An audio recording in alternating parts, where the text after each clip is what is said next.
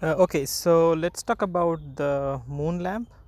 So I think it's a really value for money product uh, and it's also really nice. And I tried in my testing, I was able to get two hours uh, in, in one color. I didn't change the color. It's possible that in different colors uh, you get uh, different battery life, but I have not tried that. So in one color, just two hours and then we have this automatic uh, color change mode right? And it comes after you have gone through all the different colors.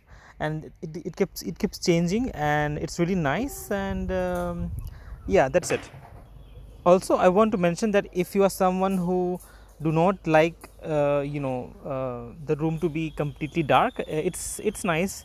I mean you will have some sort of light not extremely bright uh, but it is something nice